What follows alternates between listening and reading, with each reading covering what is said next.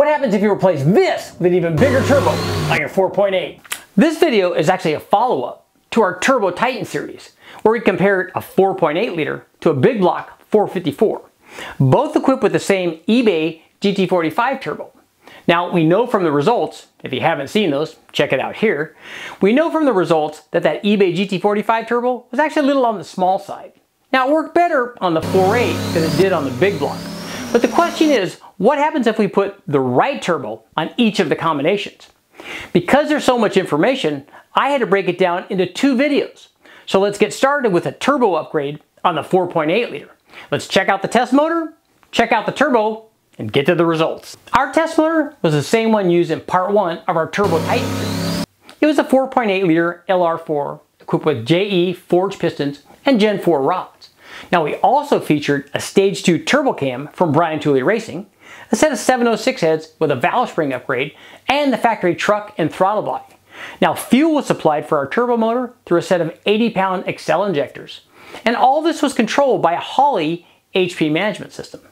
But the highlight of all this was obviously the turbo itself. It was a T6 S475 from Summit Racing. Now that T6 turbo featured a 75 millimeter compressor wheel, an 88mm turbine wheel, and a 1.32 AR on the hot side. The turbo was capable of supporting over 1,000 horsepower. Now we had no plans on pushing it that far, but we did want to see what the turbo upgrade was worth in terms of power and back pressure. Now all the boost was supplied through a ProCharger air-to-water intercooler. So enough about the test motor. Let's get to the results.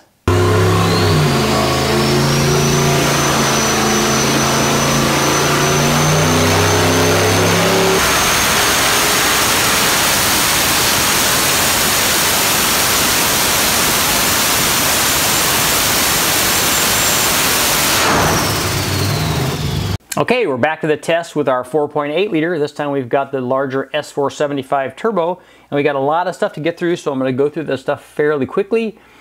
The power output of our NA 4.8 liter was 409 horsepower, 367 foot-pounds of torque. After we added the Summit uh, T6 S475 turbo, run at around six, six and a half pounds, uh, we see we've got 575 horsepower or so. And so your first question is probably, well, how did that compare to the GT45 turbo when we were running at the same boost level?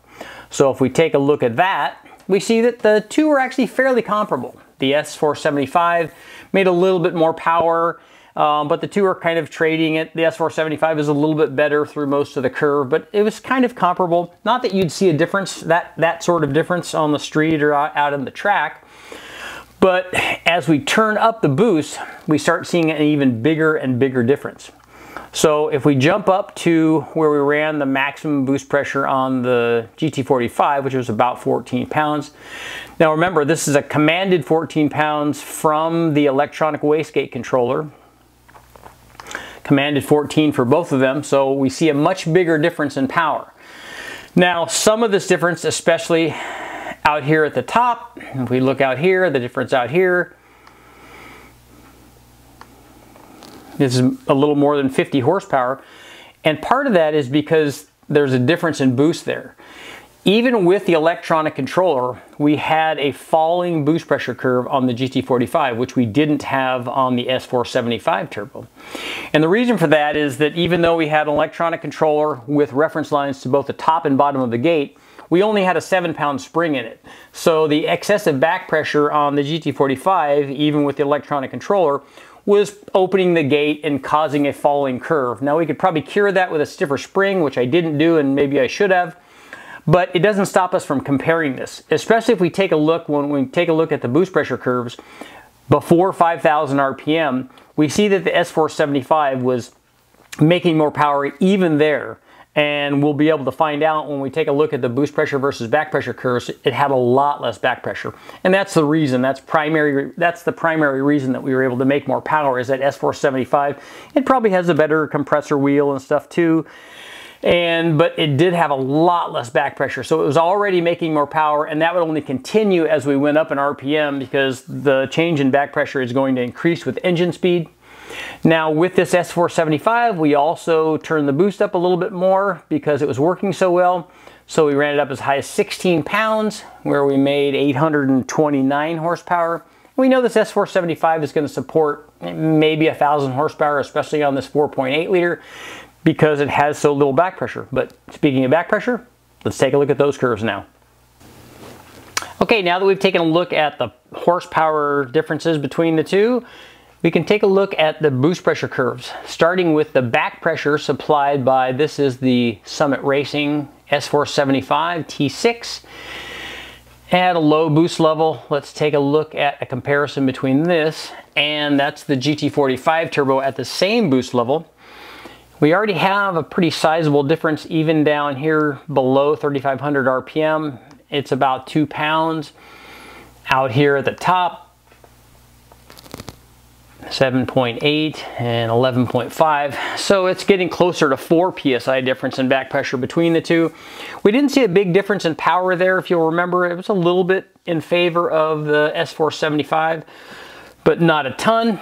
Now things get changed dramatically when we let's go out to the maximum limit where we ran the GT45 turbo. This is the back pressure on that 14 pound run that's the back pressure. This purple here versus the green is the difference in back pressure between the S475 and the GT45 run at a commanded boost level of 14 pounds. At that commanded boost level, the GT45 had over 19 pounds of back pressure, but the S475 only had about 14 pounds of back pressure, getting near one to one. That's right. On this test, on this 4.8 with the S475, it only reached a one-to-one -one relationship between boost pressure and back pressure out at the very top and it actually didn't get there until we turned it up to 16 pounds of boost. And it's also important to note that this 19 pounds of back pressure produced by the GT45 turbo was actually only at a boost pressure of 12 and a half pounds because it had a falling boost pressure. Now we're going to take a look at that so I can show you that and illustrate it. So we're going to start over here. We're going to go to our boost pressure and back pressure. Get rid of oil pressure. So that is our boost pressure versus back pressure with the Summit Turbo the, the S475. And as you can see, we got a nice flat boost curve at the top. That's the top line. And the rising curve we see down here around 7 all the way up to uh, about 14 pounds. And as you can see, even at the very top, run at this boost level, the S475 turbo never had as much back pressure as it has boost pressure. It always had less back pressure than boost pressure. Now, if we compare that to the GT45 run at the same commanded boost pressure, the red. So here at the beginning from 35 out to 45, it was able to control the boost. Then down in here, our boost pressure started falling on the GT45 down to 12 and a half pounds out here at 6,500.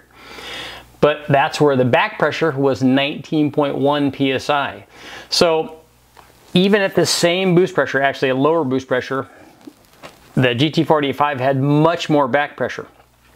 And if we take a look, if we add the big, we ran it up to 16 pounds of boost, even at 16 pounds of boost, uh, the two red lines, the Summit Turbo had only reached a one-to-one -one boost pressure versus back pressure out at 6,500. Everywhere else, it had a nice flat boost curve, had a rising back pressure curve, but never reached the only equal the boost pressure out at the very top. So this is very important and this is why we saw, we can take a look at these power numbers again. This is why we saw the power output difference between the Summit Turbo and the GT45 some of that out at the top definitely was from the drop in boost pressure, but all of this area in here, here, I mean, we're seeing a difference of 45 foot-pounds even where the boost pressure was the same. That's all a function of back pressure. Now, I want to know, you guys make some comments, let me know, what do you think? Is it also because of a difference in compressor? I mean, I know that that GT45 will support a lot more power because we've made 800, especially on this small displacement 4.8. It will definitely get up there if we were able to turn everything up. So I think that there's more compressor there. I think that this is mostly back pressure, and I think that that's what you'll find. If you size the turbo correctly, reduce the back pressure, you'll make more power. Okay guys, what did we learn? Well, before we get to that, make sure to like, share, subscribe, and ring the bell so I can keep doing these videos. But at the risk of being Captain Obvious, we learned this. A bigger turbo helps make more power. But beyond that, I love these back-to-back -back tests where we show a dramatic change in back pressure going from that GT45 to the bigger T6 S475 turbo. And that brings me to my next question. What do you guys think about that? Is that T6 too big for the little 4.8? I mean, it had less back pressure than boost pressure. And the GT45 had way more back pressure than boost pressure. Is there an intermediate level in there that we should look for for this 4.8? What have you guys run? What's run successful? I mean, we're running it on an engine dyno. We don't know how well this thing works on the street. Is it going to be too laggy? Is it going to be too soft? I mean, is that GT45 a better combination for the street? In my opinion, that GT45 works real well for low power levels, say five or 600 at the tire. But if you want to make eight or 900 at the tire, you're going to need to step up to a big turbo. That brings me to my final point, a little nitpicky for the guys at Summit Racing. This T6 turbo, I'd like to see it in a T4. And if you already do that, I'd also like to make one more request. Make that exhaust flange smaller.